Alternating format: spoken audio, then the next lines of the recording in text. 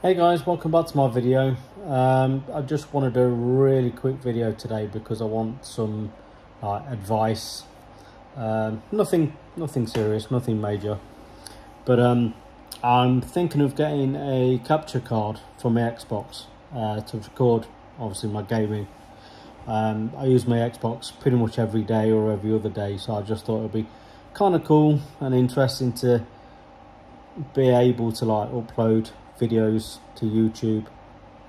Um, the main reason to this video is I want to ask you guys a really kind of like newbie kind of question, and that is, um, is it possible to transfer sort of like data or videos from the capture card directly to my mobile phone?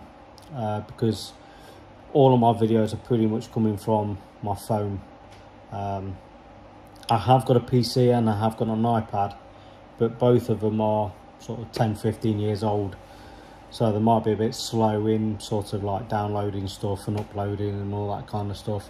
So if you know how to transfer data from a capture card to my phone, or even if it's possible, can you please kind of like send any advice my way um, in the comments and if you know any of any sort of like capture cards that actually enable me to do that again please leave them in the comments below.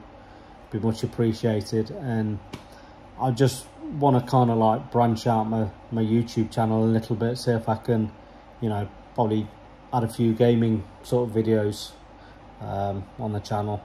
So I just want to kind of like experiment a little bit see if it see how it works and you know see how we get on. So again any advice on how to uh, to download videos uh, from a capture card to my phone?